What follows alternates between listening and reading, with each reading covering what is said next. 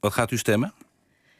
Um, dat ga ik niet zeggen. Nou, ja, gaat dat, is heel zeggen. flauw. Maar ik ga dat echt niet. Ik, ik kreeg deze. Nee, ik kreeg deze We hebben het hier echt- over transparantie, openheid. Ja, en ik ga het zeggen nadat, eh, nadat de stemmen zijn geteld in het referendum. Want ik vind dat het nu aan de leden is. Ja, en we, dat we is hebben het altijd over linkse samenwerking overigens. eh, Voor degenen die het nog niet helemaal kunnen volgen.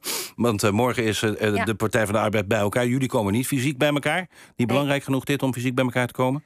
Jawel, eh, het is sowieso een belangrijk onderwerp. Maar wij, de PvdA had al een congres gepland. Ja. En, eh, waarin ze dus over dit onderwerp gaan praten. En daarom is bij ons besloten om hetzelfde te doen. En het voor te leggen aan de leden via een referendum. Ja. En ik geloof dat morgen om één uur dat daar de uitslag van eh, bekend is. Ja, jullie doen het digitaal, zal ik maar zeggen. Ja. Ja. Dus wat ging u ook alweer stemmen? Ja, dat- ik ga dat morgen, als alle stemmen geteld zijn. Nee, maar ik, ik snap je punt wel. Maar dat heeft er natuurlijk mee te maken dat ik ook echt vind dat dit aan de leden is. En ik ben helemaal Maar u, bent, bent toch zelf ook lid, mag ik aannemen?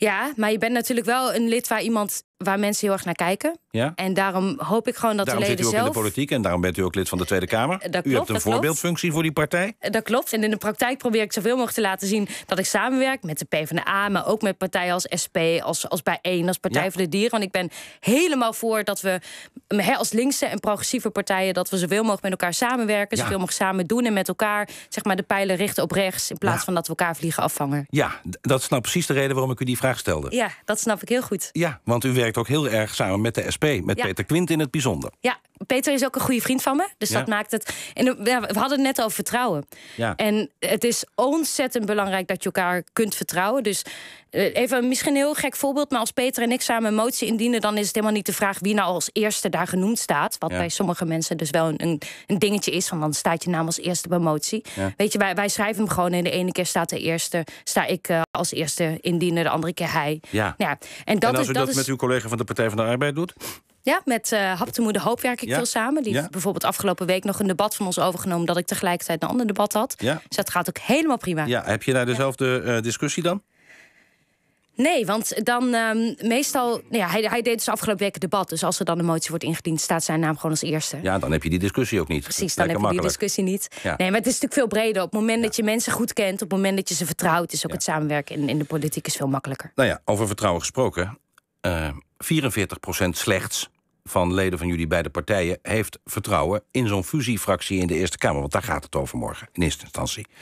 Dat was hoger, dat is teruggezakt... en het aantal twijfelaars is toegenomen. Ja, en dat Blijkt ook, uit een enquête van één vandaag. Ja, maar dat is prima natuurlijk. En dit is juist, juist waar het over gaat. Ik is vind prima ook, dat het, nee, dat, leden daar een mening over hebben. twijfelaars is toegenomen. Nou, nee, dat leden er een mening over hebben en dat die discussie op gang is gebracht. Ja. Want ik vind ook, dit is niet een besluit dat je vanuit, ehm, nou, bijvoorbeeld de, de top van de partij, of dat wij als Tweede Kamerfractie of als Eerste Kamerfractie moeten nemen. Dit moet gewoon echt vanuit de leden komen. En dan zien we morgen wel wat de leden van zowel GroenLinks als PvdA hebben gestemd. Ja. En dan kijken we daarna weer verder hoe het Maar ja, bij de Partij van de Arbeid is de kritiek nou juist trouwens bij uw partij ook... dat het niet van de leden komt, maar dat de top van eh, die partijen... zich daar te veel tegenaan bemoeit. Ja, dat is de reden waarom ik me dus heb besloten me er niet tegen aan te bemoeien. Maar dat doet u, toch wel, uw stemgedrag. Nou goed, Ehm, eh, Ja. ik, ik zal het zo nog een keer proberen. Ja, dat mag. Ja, dan krijg je hetzelfde antwoord.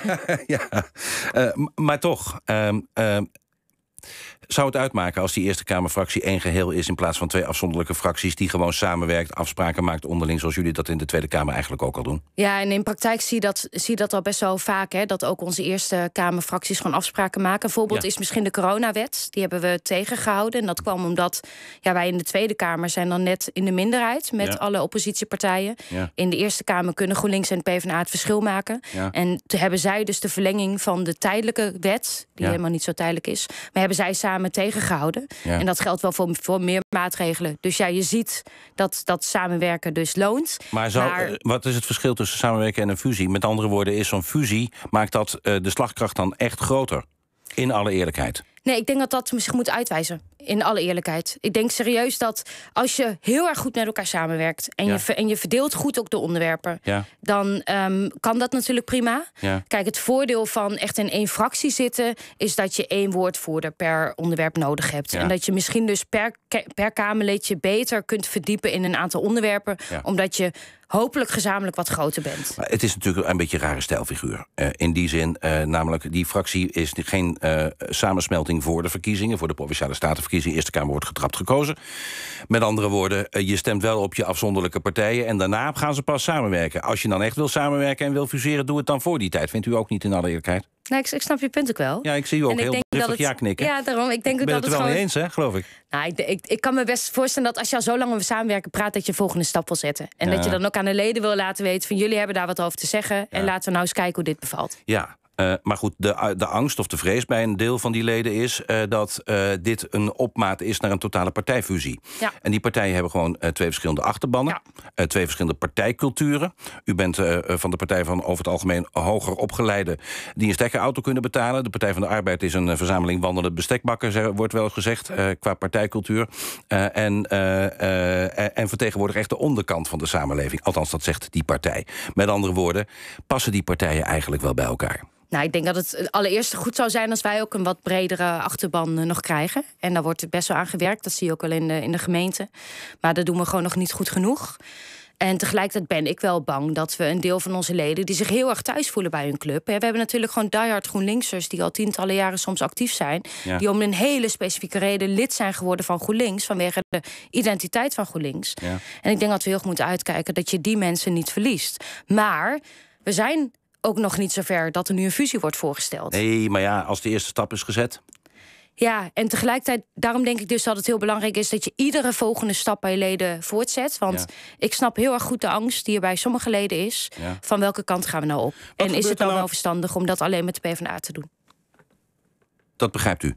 Ja, dat begrijp ik heel goed. Dus u begrijpt, u begrijpt dat, dat mensen dat niet verstandig vinden. Ja, maar het is ook geen geheim. Ik, ik noemde net, voor de, net niet voor niets hè, dat ik met heel veel andere linkse progressieve partijen ook graag samenwerk. Ja. Omdat ik me daar misschien net zo thuis voel. Ja. Dus ik zou echt willen dat we op links heel breed gaan samenwerken. Ja. En ik snap heel erg goed dat mensen bang zijn dat dit de eerste stap is naar een fusie. En daarom is het relevant dat je elke volgende stap voorlegt. Ook om te voorkomen dat je gewoon die actieve leden die je nodig hebt, dat je die kwijtraakt.